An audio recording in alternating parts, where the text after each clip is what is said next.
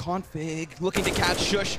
I like that he takes his time, dodges the follow-up fight, but Tesses will connect it. And this is what I'm talking about. This Deadly Deagles. They can swing around this, but this is the presence that actually matters. Now Oh, the bomb. tees will start to spread. Bomb drop, that's big. blameF to be tested. Oh, oh okay. he's got all right, it all. all right. Let go of that mouse. You've done enough. How does he move so fast with those arms? Massive moment for a massive man. It's not the best of weapons, but it's still a critical round win. Don't you for one second doubt how much that